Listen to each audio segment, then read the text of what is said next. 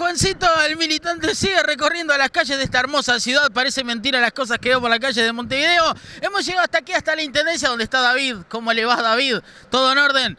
Para echar luz, para saber lo que la gente piensa a boca de jarro, lo que la gente quiere resolver o pensar acerca del acto electivo del 24 de noviembre. Vos lo ves acá, en Juancito Militante, en la República. Ya estamos con Daniel, que es sanitario. Bueno, Daniel, buenas tardes. Primero que nada, gracias por dialogar con nosotros. Eh, tarde calurosa, digamos. Sí, bastante calurosa. La estábamos esperando igual, ¿no? Con estos días que hemos tenido, estamos esperando la, la primavera que se empareje un poco el, el tiempo. Bien, Daniel, Juancito el Militante es un personaje que, bueno, que hace dudar a la población y que se interesa por lo que el elector ha votado en las pasadas elecciones. En su caso, ¿pudo votar? Sí. Sí, sí, votamos, sí. ¿Votó aquí en Montevideo? Votamos en Montevideo, en el barrio. ¿Cuál fue la opción que eligió Daniel de los 11 partidos? Vio que hubo partidos eh, para tirar para arriba. Y votamos a la izquierda. Votó a la izquierda. Eh, la izquierda tenemos, tenemos varias cosas dentro de la izquierda. Tenemos el Frente Amplio y tenemos otros partidos también. Sí, tenemos el Frente Amplio. Votamos el Frente Amplio. ¿Votó Daniel Martínez? Eh, eh, voté Unión Popular. Unión Popular. Unión Popular, sí. Bien, y ahora de cara al balotaje, ¿qué es lo que piensa hacer teniendo en cuenta que Unión Popular se, se, nos, se nos quedó ahí? Sí, sí. Fue una mala, una mala votación para. Bueno, fue para, para varios, ¿no? Pero está, y ahora vamos a apoyar a Martínez. Sí, sin duda. Daniel Martínez entonces cara al balotaje. Eh, sí, sí, Martínez. Bien, ¿qué es lo que más le gusta de Daniel Martínez, de la fórmula o del proyecto que tenga Martín? Eh, lo que me interesa es que la derecha no vuelva a poder porque sería un riesgo para todos los ciudadanos y para la clase obrera más que nada. Bueno, Daniel, le pido un abrazo, Juancito el militante se abraza con cada votante, que pase bien y bueno, que gane el mejor. Bueno, que gane mejor para el bien de la ciudadanía. Bien, Daniel habló con nosotros acá en la República. Bien, estamos con Ever, obrero de la construcción. Bueno, Ever, primero que nada, buenas tardes, gracias por dialogar con Juancito el militante. Un placer. Lo veo con bastantes tatuajes, Ever. ¿Qué tatuaje le quedaría bien a Juancito el Militante? Teniendo en cuenta que el logo ya lo tengo en el buzo, no me puedo poner el logo Juancito el Militante en una de las mangas porque es como muy reiterativo. ¿Qué tatuaje le quedaría bien a Juancito el Militante? ¿Qué tatuaje te quedaría bien? Eh, si- el que me gusta a mí o que te quede bien a vos. Eh, como usted quiera, yo confío en su criterio, Ever. Vio como es esto, Juancito el Militante sale y se expone. A vos te quedaría bien el de Nacional. Un bien escudo de Nacional, bien. No está mal, no está mal, Ever. ¿Pudo votar, Ever? Pude ¿Pudo votar? ¿Ejerció el, el- el- Eh, como corresponde. ¿Votó acá, aquí en Montevideo? Acá en Montevideo. ¿En dónde le tocó? ¿En qué escuela? Eh, ¿O en qué centro? Liceo 24. Liceo 24, ¿muy lejos o? ¿Paso de la arena lejos o cerca de su casa? Cerca. Cerca de su casa. Bueno, a ver, la pregunta del millón es la siguiente. ¿A quién eligió en las pasadas elecciones? A Martínez. Eligió a Daniel Martínez. ¿Por qué lo eligió a Daniel Martínez? Porque me parece que es lo que tengo que votar. Ever, ¿va a conservar su voto de cara al balotaje? Se sabe que sí. Va conser- Martínez, entonces, Martínez Villar de, de cara a la segunda vuelta. Sí, señor. ¿Qué es lo que más le gusta de Daniel Martínez o del proyecto de país que tenga Daniel? Me parece que es el único que tiene propuesta para nosotros. Y que no nos va a sacar nada de lo que ya tenemos. Bien, como usted me dio un consejo a mí acerca de los tatuajes, voy a dejar que usted le emita un mensaje a la ciudadanía aquí en la Cámara de la República. No, consejo no. Lo único que puedo decir es que hagan lo que tengan que hacer y que no se arrepientan después nada más.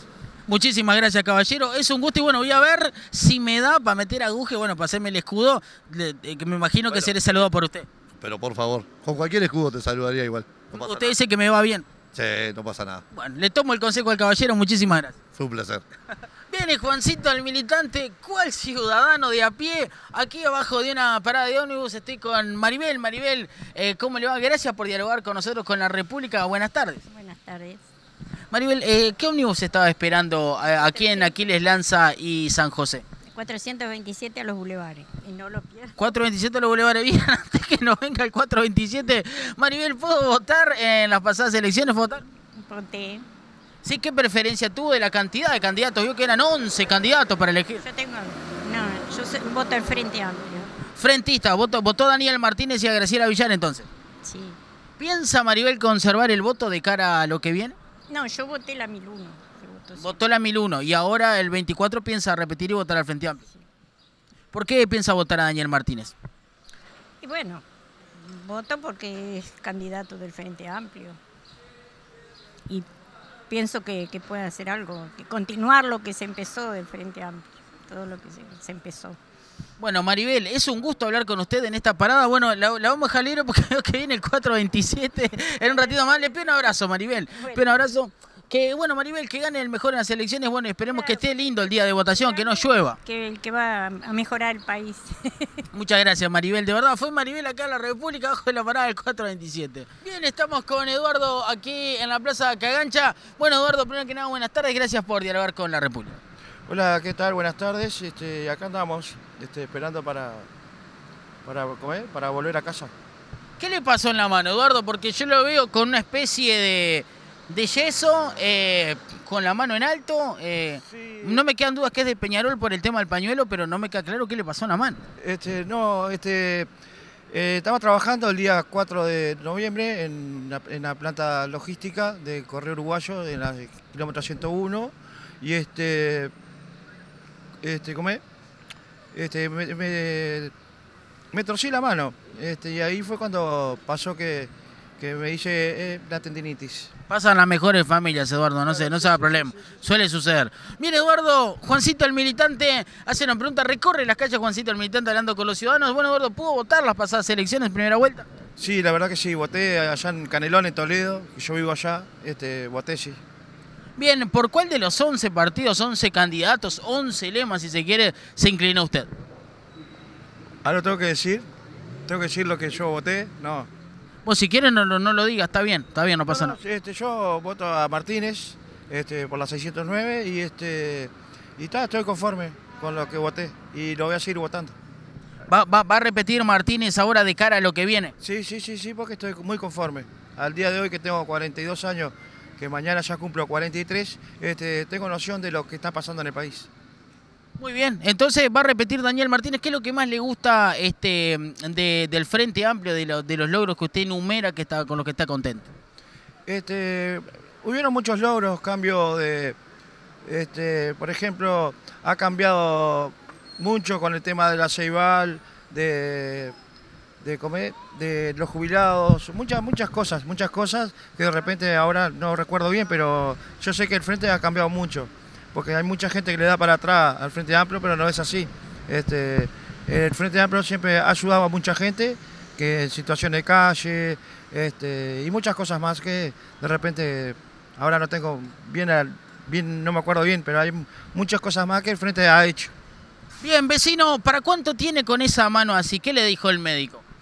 Eh, ahora tengo hasta el jueves 14 para estar ahí, este, jueves 14 para ir a ver cómo sí evoluciona y a ver si me dan el alta o no, o sigo de, de licencia médica.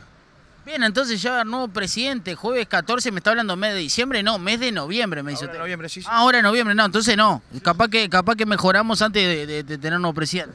Sí, ojalá que sí, ojalá que sí.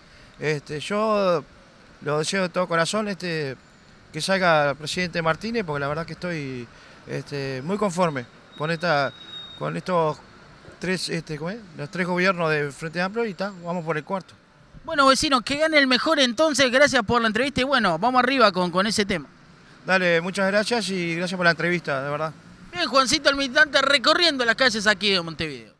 Bien, y en la compañía del hombre que pocos movimientos experimenta, al menos en estos últimos años, nos despedimos desde aquí de la Intendencia de Montevideo, donde Juancito el militante hizo su trabajo responsable y serio, como es de costumbre, y usted lo pudo ver aquí en la República.